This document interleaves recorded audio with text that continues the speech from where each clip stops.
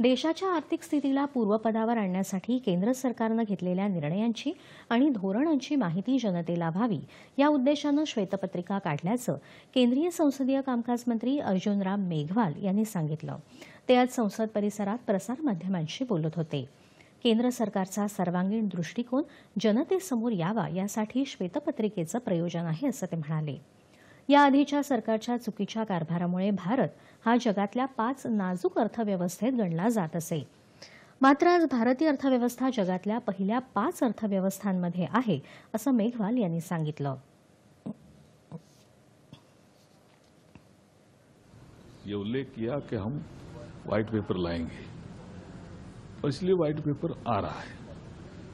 अब इसमें उन्होंने क्या देखा, क्या नहीं सोचा, मेरे समझ में नहीं आ रहा कि जो आपके समय बैड गवर्नेंस हुआ था इकोनॉमी को लेकर के, जिसके कारण आप इकोनॉमी में फाइव फ्रेजाइल की श्रेणी में पहुँच गए थे।